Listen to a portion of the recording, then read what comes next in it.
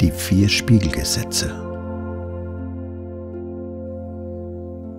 Erstes Spiegelgesetz.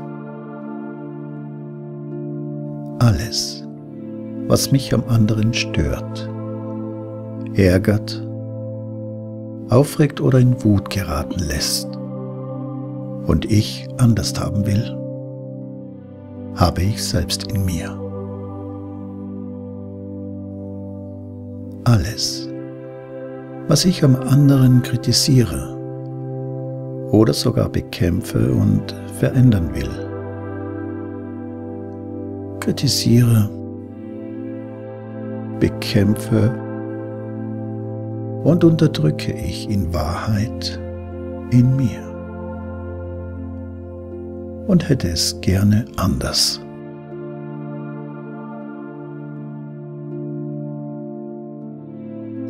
Zweites Spiegelgesetz. Alles, was der andere an mir kritisiert, bekämpft und verändern will,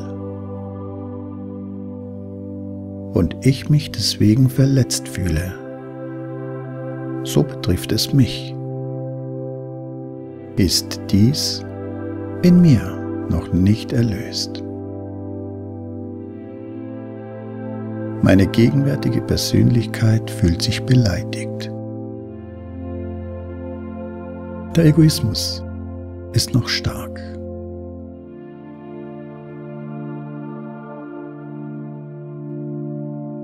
Drittes Spielgesetz. Alles, was der andere an mir kritisiert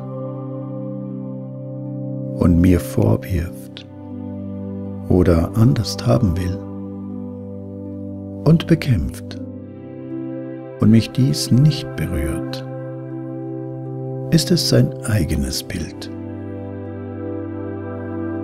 sein eigener Charakter, seine eigenen Unzulänglichkeiten, die er auf mich projiziert.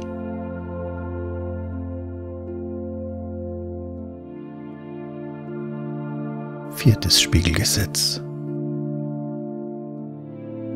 Alles, was mir am anderen gefällt, was ich an ihm liebe,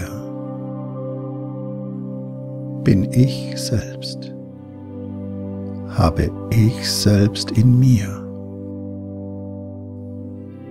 und liebe dies im anderen. Ich erkenne mich selbst im anderen. In diesen Angelegenheiten sind wir eins.